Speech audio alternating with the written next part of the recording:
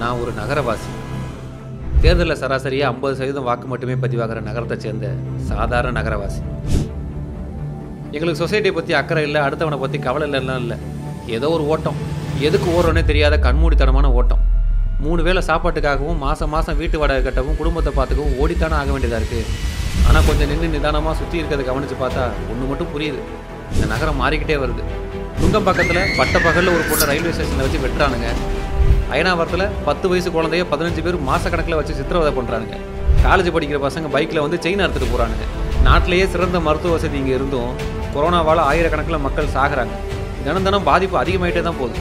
படித்த பசங்க வேலை கிடைக்காம நூறுக்கும் இரநூறுக்கும் ஃபுட் டெலிவரி வேலை பண்ணிக்கிட்டு இருக்காங்க. வெயில் காலத்தில் தண்ணிக்கு காத்துக்கிட்டு இருந்தது போய் எல்லா மாதமும் தண்ணிக்கு ஜனங்க காத்துக்கிட்டு இருக்காங்க. ரெண்டு நாள் தொடர்ந்து மழை பெஞ்சா கூட போட்டில் போக வேண்டியதாக இருக்குது ஹெலிகாப்டர்லேருந்து யாராவது பிரெட் பாக்கெட் போடுவாங்களான்னு காத்துக்கிட்டே இருக்க வேண்டியதாக இருக்குது இப்போலாம் பெட்ரோல் போடலான்னு போனால் பெட்ரோல் விற்கிற விலைக்கு சொந்தமாக பங்கே போட்டலான்னு தோணுது. இதில் வண்டி ஓட்டும் போது பேனர் எங்கேருந்து சரிஞ்சு விழும் ரோடு எப்போ உள்ளே போகணும் நாலா பக்கமும் பார்த்துக்கிட்டே போக வேண்டியதாக இருக்குது சரி இதுக்கு பஸ்லேயே போயிடலான்னு பார்த்தா அது டிராஃபிக்கில் நின்று நின்று போகிறதுக்கு நடந்தே போயிடலான்னு தோணுது. கிலோ கணக்கில் காய்கறி வாங்கின காலம் போய் இப்போலாம் சில்லறைக்கு தான் வாங்க முடியும். ஒரு காலத்தில் இந்த நகரத்துக்குன்னு ஒரு குணம் இருந்துச்சு. இங்கே இருக்கப்பட்டவன் மட்டும் இல்லை இல்லாதப்பட்டவனும் வாழ்றதுக்கான அடிப்படை வசதிங்க இருந்துச்சு. உழைச்சா முன்னேறலான்ற நம்பிக்கை இங்கே ஜனங்கக்கிட்ட இருந்துச்சு. ஆனால் இன்னைக்கு இந்த நகரத்துக்கு அந்த குணமும் இல்லை மக்களுக்கு அந்த நம்பிக்கையும் இல்லை. சுருக்கமாக சொல்லணும்னா பத்து வருஷத்தில் இந்த நகரம் நரகமாக மாறி போச்சு தலைநகரமே இந்த லட்சணத்தில் இருக்குன்னா தமிழ்நாட்டில் மற்ற நகரத்தோட நிலைமை எப்படி இருக்கும்? எப்படி இந்த நகரத்துக்கும் தமிழ்நாட்டுக்கும் இந்த நிலமை வந்துச்சுன்ற காரணத்தை தேடி பார்த்தா கடைசியாக போய் இந்த அரசாங்கத்துக்கு தான் நிற்கிது ஆடம்பரமாக செலவு பண்ணி அரசு விழா நடத்த காசு இருக்குது ஆனால் கொரோனாவால் வாழ்வாதாரத்தை இழந்தவங்களுக்கு கொடுக்க இந்த அரசாங்கத்திட்ட காசு இல்லை. கட்சிக்குள்ளே யார் முதலமைச்சர்னு சண்டை போட நேரம் இருக்குது ஆனால் மாநகராட்சி தேர்தல் நடத்த நேரம் இல்லை.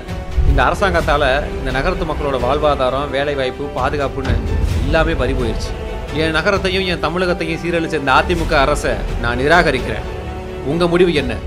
வணக்கம். நிர்வாக திறனற்ற அதிமுக அரசாங்கத்தால் தமிழ்நாடே முழுவதும் பாதிக்கப்பட்டுள்ளது. நகரம் முதல் கிராமம் வரை முழுமையாக சிதைந்துவிட்டது.